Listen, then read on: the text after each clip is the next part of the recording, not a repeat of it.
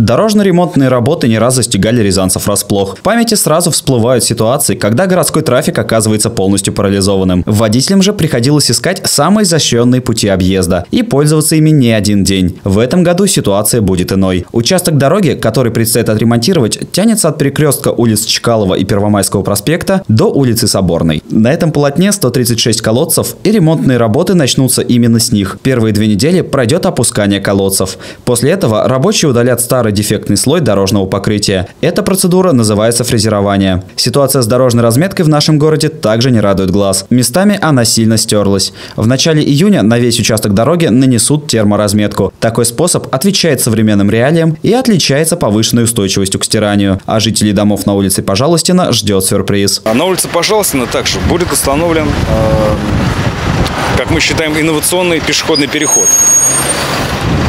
То есть пешеходный переход э, со светящейся дорожкой, который повысит безопасность дорожного движения. Это будет точно такая же светящаяся полоса, как и на перекрестке улиц Дзержинского и Первомайского проспекта. Кажется, что такой масштабный ремонт сильно повлияет на городской трафик. Но, по словам начальника благоустройства города, это совсем не так. Ремонтные работы будут проводиться преимущественно в ночное время. Мы продумали график работы таким образом, чтобы э, минимизировать влияние на трафик в центре города.